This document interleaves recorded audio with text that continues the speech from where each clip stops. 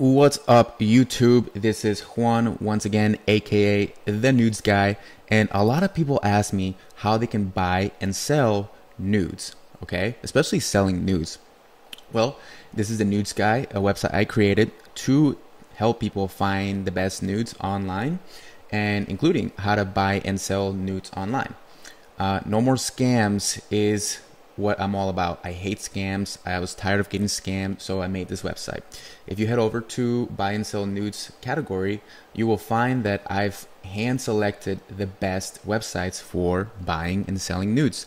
And every one of these sites does something different. For example, InstaFeet. InstaFeet is a website where you can sell pictures of your feet. So if you're trying to make a little money and you don't want to show your face, head over to InstaFeet and start selling pictures of your feet.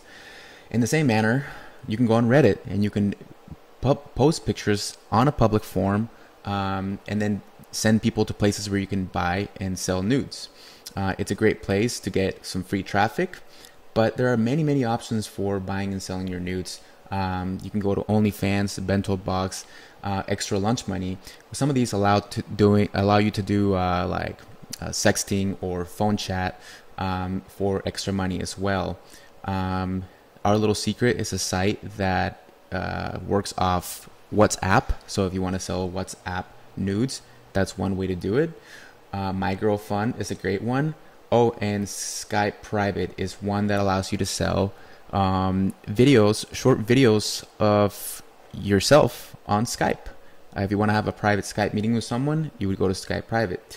But check it out. I have a lot of uh, options here for you guys. Um, they've, like I said, they've all been uh, handpicked, hand selected for the most trusted sources. That's what the Nudes Guy is all about. So go go ahead, check it out. If you have any comments, any feedback, send me an email. And if you have any um, any new sites you want me to list on there, send me an email, and I will check it out. All right, thanks, thanks, guys. Bye bye.